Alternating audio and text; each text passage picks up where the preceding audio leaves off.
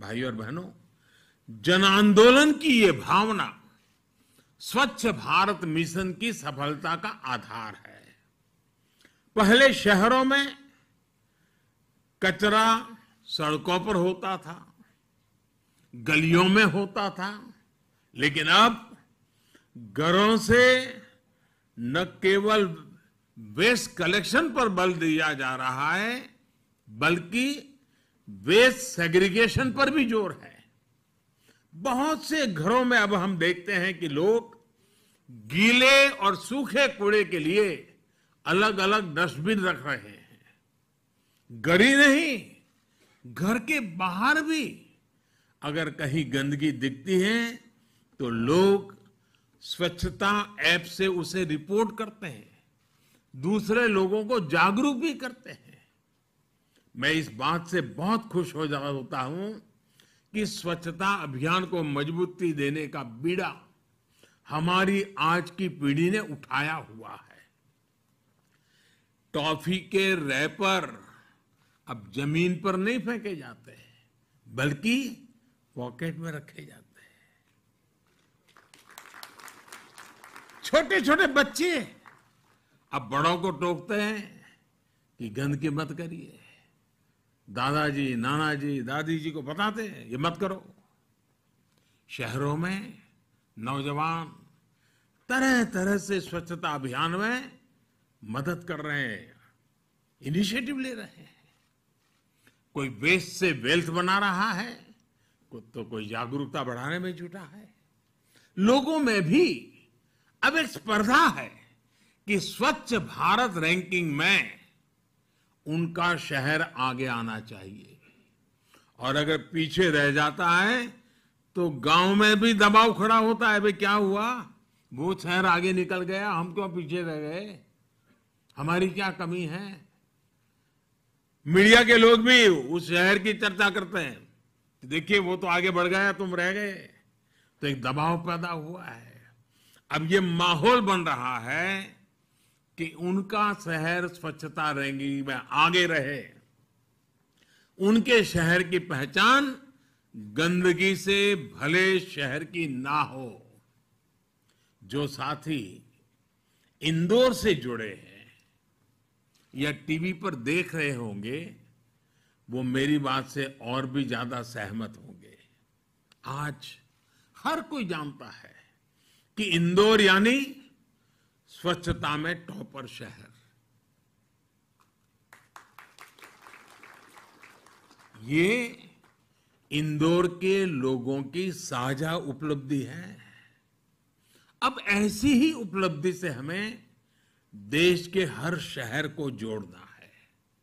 मैं देश की हर राज्य सरकार से, स्थानीय प्रशासन से, शहरों के मेयर से आग्रह करता हूँ कि स्वच्छता के इस महाअभियान में एक बार फिर से जुट जाए। कोरोना के समय में कुछ सुस्ती भले आई है, लेकिन अब नई ऊर्जा के साथ हमें आगे बढ़ना है। हमें ये याद रखना है कि स्वच्छता एक दिन का, एक पखवाड़े का, एक साल का या कुछ लोगों का ही काम है, ऐसा नहीं है। स्वच्छता हर किसी का, हर दिन, हर पखवाड़े, हर साल, पीढ़ी दर पीढ़ी चलने वाला महाअभियान है।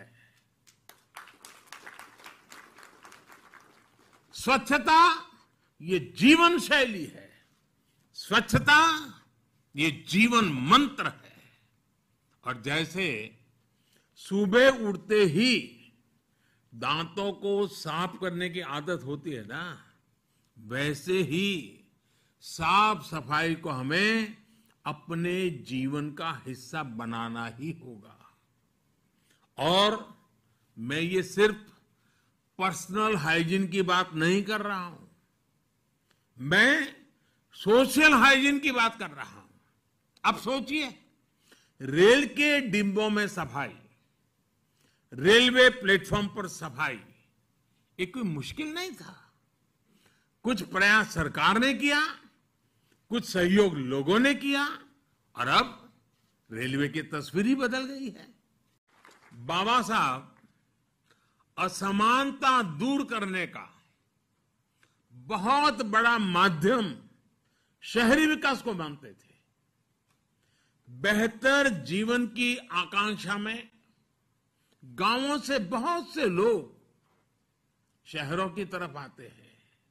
हम जानते हैं कि उन्हें रोज़गार तो मिल जाता है, लेकिन उनका जीवन स्तर गाँवों से भी मुश्किल स्थिति में रहता है। ये उन पर एक तरह से दोहरी मार की तरह होता है। एक तो घर से दूर और ऊपर से ऐसी कठिन स्थिति में रहना, इस हालात को बदलने पर, इस असमानता को दूर करने पर बाबा साहब का बड़ा ज़ोर था। स्वच्छ भारत मिशन और मिशन अमृत का अगला चरण बाबा साहब के सपनों को पूरा करने की दिशा में भी एक अहम कदम है। 2014 में देशवासियों ने भारत को खुले में शौच से मुक्त करने का, ओडीएफ बनाने का संकल्प लिया था। दस करोड़ से ज़्यादा शौचालयों के निर्माण के साथ देशवासियों ने ये संकल्प पूरा किया। अब स्वच्छ भारत मिशन अर्बन 2.0 का लक्ष्य है। गार्बेज फ्री शहर। कचरे के ढेर से पूरी तरह मुक्त ऐसा शहर बनाना। अमृत मिशन इसमें देशवासियों की और मदद करने वाला है। शहरों में शत प्रतिशत लोगों की साफ़ पानी तक पहुँच हो, शहरों में सीवेज का बेहतरीन प्रबंधन हो, इस दिशा में हम आगे बढ़ रहे हैं। मिशन अमृत के अगले चरण में देश का लक्ष्य है सीवेज और सेप्टिक मैनेजमेंट बढ़ाना, अपने शहरों को वाटर सिक्योर सिटीज़ बनाना और ये सुनिश्चित करना कि हमारी नदियों में कहीं पर भी कोई गंदा नाला न गिरे।